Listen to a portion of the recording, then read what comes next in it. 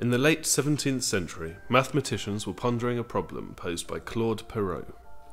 What is the path of an object starting off with a vertical offset when it is dragged along by a string of constant length being pulled along a straight horizontal line?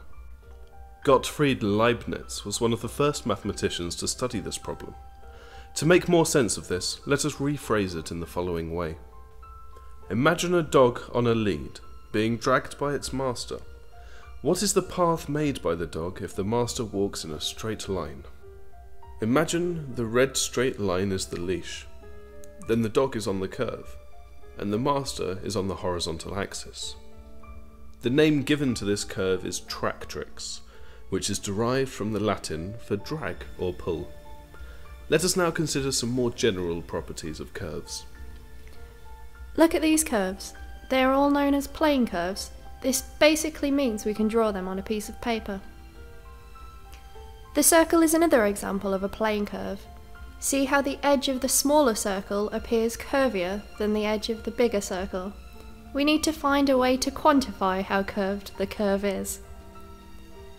Notice how the edge of the circle has the same curvature all the way around, but not all curves have constant curvature. Look at the tractrix. We need to find a way to measure how curvy the curve is. This is what we call the curvature. In this case, the curvature is 1 over hyperbolic sine. We now find the oscillating circles. This is a way to demonstrate how the curvature changes along a curve by drawing circles of the same curvature at each point on the curve. Notice how the circles get smaller towards the top of the tractrix, this is because it's curvier here. Now look at these plane curves. Can you guess where on each curve has greater curvature?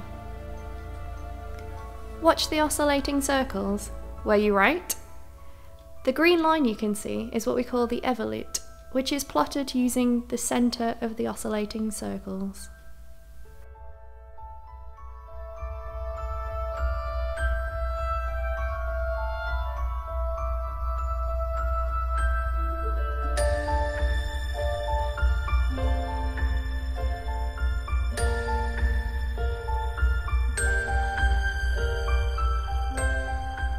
One reason the tractrix is so interesting is that it generates a special surface.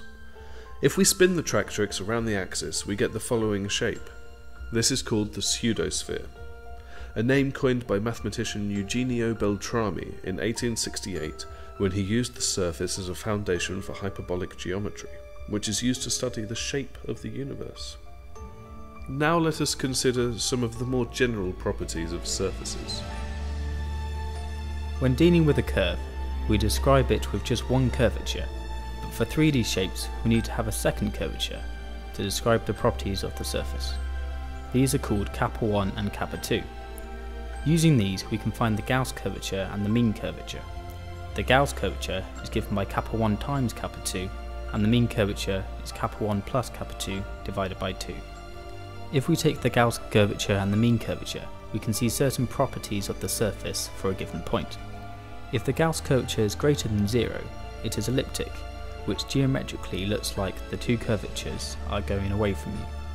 If the Gauss curvature is less than zero, it is hyperbolic, which looks like a saddle, where one curvature comes towards you, the other away. If the Gauss curvature equals zero, but the mean curvature does not equal zero, it is parabolic, which looks like a cylinder. If both the Gauss curvature and the mean curvature are zero, the surface is flat, and if the two curvatures are equal, it looks either like a sphere or a plane.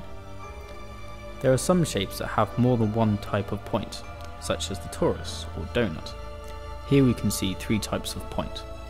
Now let's look at our surface. Notice that at each point, it curves both towards and away from you, making it hyperbolic. We can show the change in curvature using colours. The top left picture is the change in Gauss curvature, and the bottom right picture is the change in mean curvature. The Gauss curvature for this pseudosphere is a constant negative, whereas the mean curvature is given by a hyperbolic trigonometric function. This constant negative Gauss curvature is what makes the pseudosphere so interesting to mathematicians. Now that we have seen some useful techniques for studying curves and surfaces, we can get stuck into some other, more complicated shapes, like the breather here. It also has a constant negative Gauss curvature and is hyperbolic at every point. New surfaces of this kind are still being discovered by mathematicians around the world.